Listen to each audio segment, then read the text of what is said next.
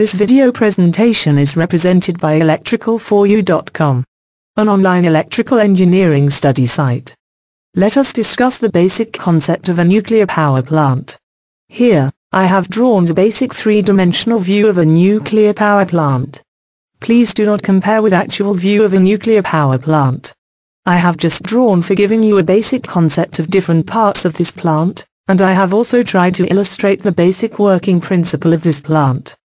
Before going to actual operation of this plant, let me give you some introduction of this plant. In a nuclear power station, electrical power is generated by nuclear reaction. Here, heavy radioactive elements such as uranium-235 or thorium-232 is subjected to nuclear fission. This nuclear fission is actually the source of heat energy which is utilized to convert water into high-pressure steam. Except this production of heat, the basic operation of this plant is more or less same as coal thermal power plant. In coal thermal power plant the heat is produced in furnace by combustion of coal and in nuclear power plant the same is done by nuclear fission in the reactor chamber. In fission process, the nuclei of heavy radioactive atoms are broken into two nearly equal parts. During this breaking of nuclei, huge quantity of energy is released. This release of energy is due to mass defect.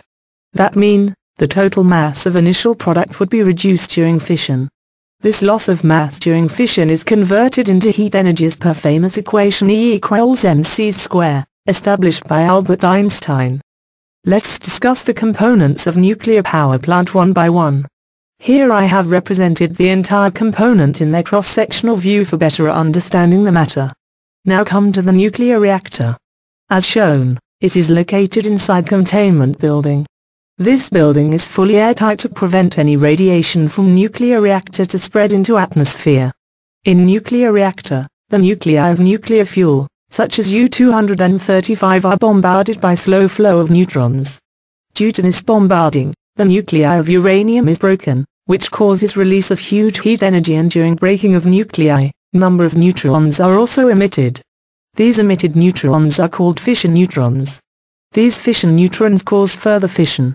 Further fission creates more fission neutrons which again accelerate the speed of fission. This is cumulative process. If the process is not controlled, in very short time the rate of fission becomes so high, it will release so huge amount of energy, there may be dangerous explosion. This cumulative reaction is called chain reaction. This chain reaction can only be controlled by removing fission neutrons from nuclear reactor. The speed of the fission can be controlled by changing the rate of removing fission neutrons from reactors. A nuclear reactor is a cylindrical shaped stunt pressure vessel. The fuel rods are made of nuclear fuel. Uranium moderates, which is generally made of graphite cover the fuel rods. The moderates slow down the neutrons before collision with uranium nuclei. The controls rods are made of cadmium because cadmium is a strong absorber of neutrons. The control rods are inserted in the fission chamber. These cadmium controls rods can be pushed down and pull up as per requirement. When these rods are pushed down enough, most of the fission neutrons are absorbed by these rods, hence the chain reaction stops. Again, while the controls rods are pulled up, the availability of fission neutrons becomes more which increases the rates of chain reaction. Hence, it is clear that by adjusting the position of the control rods, the rate of nuclear reaction can be controlled and consequently the generation of electrical power can be controlled as per load demand. In actual practice, the pushing and pulling of control rods are controlled by automatic feedback system as per requirement of the load. It is not controlled manually. The heat released during nuclear reaction, are carried to the heat exchanger by means of coolant consists of sodium metal. After delivering the heat, this coolant comes back to the reactor chamber by means of this coolant pump. Now come to the heat exchanger. As I said, in a heat exchanger, the heat carried by sodium metal, is dissipated in water and water is converted to high pressure steam here. After releasing heat in water the sodium metal coolant comes back to the reactor by means of this coolant circulating pump. Next is steam turbine. The high pressure steam is then comes to the turbine, through this steam pipe. In nuclear power plant, the steam turbine plays the same role as coal power plant. The steam drives the turbine in the same way.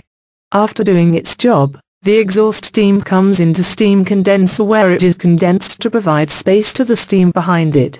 This condensed steam comes back to the heat exchanger by means of this pump.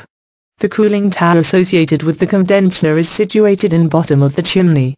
The water vapor produced during cooling process of hot water of condenser, will come out through this chimney. As we see here the cross-sectional view of the alternator. This alternator, coupled with turbine, rotates and generates electrical power, for utilization. Thank you. Hope, you got a clear and basic idea.